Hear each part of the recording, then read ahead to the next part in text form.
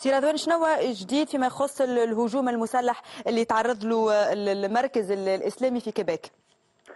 والله هو جديد بالتاكيد للأسف وفاة المواطن التونسي بكر الثابتي هذا تقريبا البارح يعني تأكدنا 100% هو الشخص المتوفي ونقدموا تعازينا الحارة لعائلته في نفس الوقت زوز جرحى اللي هما سي نزار الغالي وأيمن دربالي الحمد لله سي نزار الغالي تقريبا آه، تعدى مرحلة الخطر يعني آه، الإصابات نتاعو الحمد لله تم التعاطي آه، مع الرصاصات بطريقة واضحة والحمد لله معناها تعدى مرحلة الخطر بقى كان أيمن دربالي اللي هو الحقيقة وضعه الصحي حرج شوية ونتمنى إنه يتعدى المرحلة هذه إن شاء الله.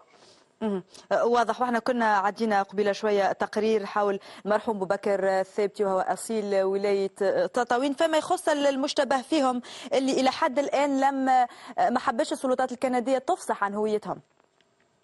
هي الحقيقة نحن في كل الحالات سفارتنا في كندا وعندنا السيده القنصل مونريال قاعدة تتبع في الموضوع على عين المكان وتنقلت لأنه البلاصه اللي صار فيها بعيدة نوعا ما على مكان القنصلية.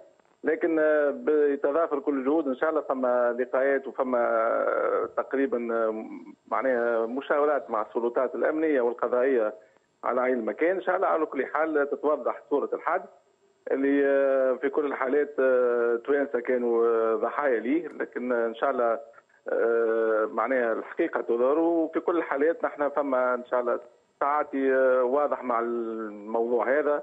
أهم شيء هو الإحاطة بأفراد الجالية نتاعنا موجودة في كندا اللي يقارب العدد نتاعها 30000 وإن شاء الله ما يكونش ليه حتى انعكاس على وضعهم الداخلي. بطبيعه نطمنوهم على أنه السلطات الكندية متفاهمة وعندها كل القدرة على أنها تجابه الظاهره هذه. وإن شاء الله في كل الحالات عندنا لقاءات مباشرة باش تكون معاه. وإن شاء الله يكون عندنا لقاء ربما في أقرب الأيام نتنقلوا إلى كندا.